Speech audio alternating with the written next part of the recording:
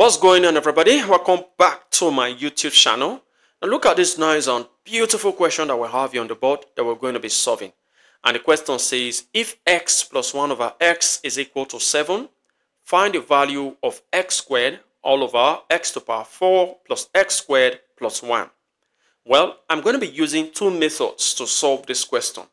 So I'll be calling the first method, method 1. So for method 1, I'll be writing this first expression, which is x plus 1 over x equal to 7.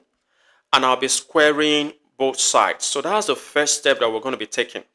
So squaring the left-hand side, I'll have x squared plus 2 times x times 1 over x plus 1 over x squared equal to squaring 7, I'm going to be having 49. So now notice that this x will go off with this x. So leaving behind x squared plus 2 plus 1 all over x squared equal to 49. So our next step will be to move this 2 to the right hand side. So moving this 2 to the right hand side, I'll be having x squared plus 1 over x squared equal to 49. As 2 crosses to the left, it becomes minus 2. So this I have x squared plus 1 over x squared equal to 49 minus 2, I'll be having 47. For our next step, I'm going to be dividing the numerator and the denominator of this our second expression by x squared.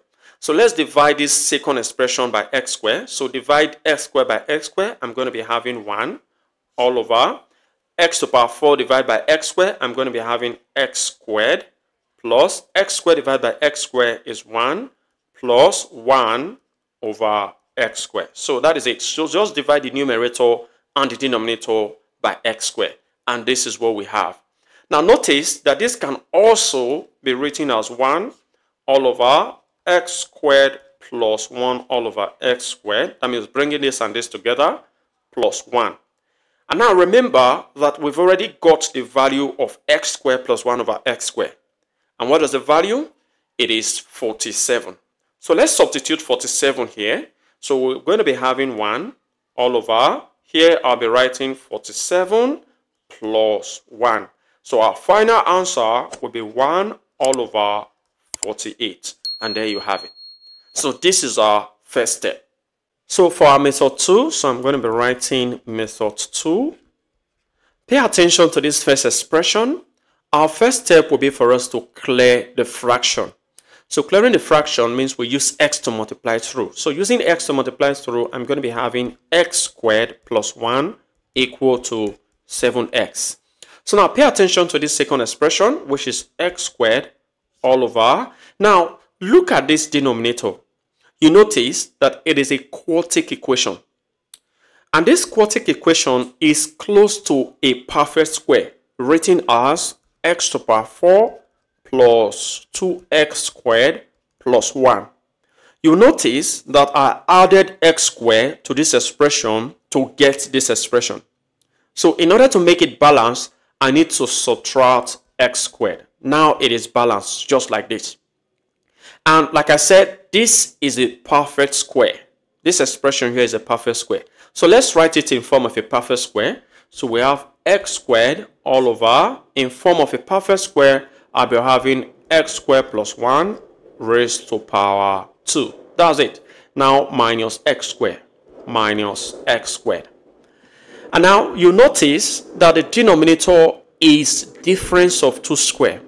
And how do we express difference of 2 square? Whenever I have m squared minus n squared this can be written as m plus n times m minus n so let's express this denominator like this.